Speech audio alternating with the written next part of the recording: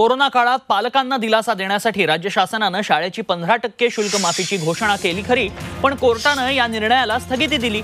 त्यानंतर पुढे शिक्षण विभागाकडून हालचाली न झाल्यानं याचा फटका आता पालकांना सहन करावा लागतोय.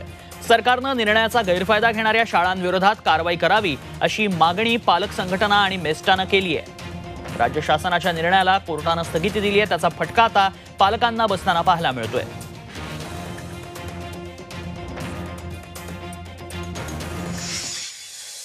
ज्या शाळांनी कुठलंही कन्सेशन दिलं नाही ज्या शाळा खरं तर सुप्रीम कोर्टाला मान्य करत नाही गव्हर्नमेंटच्या जीआरला मान्य करत नाही त्या शाळांना अभय देण्याचं काम खरं सध्या सगळं सरकारच्या आणि शिक्षण विभागाच्या माध्यमातून चाललेलं आहे. शिक्षण विभाग यामध्ये सगळ्यात मोठ्या प्रमाणामध्ये पालकांची दिशाभूल करता असा आमचा थेट शिक्षण विभागावरती आरोप आहे.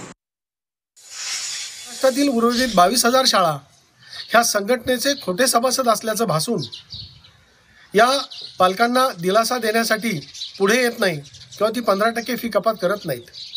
आणि असं करून ते शासनाची दिशाभूल करतायत आणि पालकांची दिशाभूल करतायत.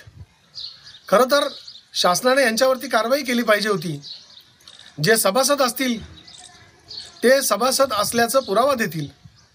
जे सभासद नसतील ते उघडे पडतील व त्यांच्यावर त्यांना कारवाईला सामोरं जावं लागेल. छत्रपतींचा विचार म्हणजे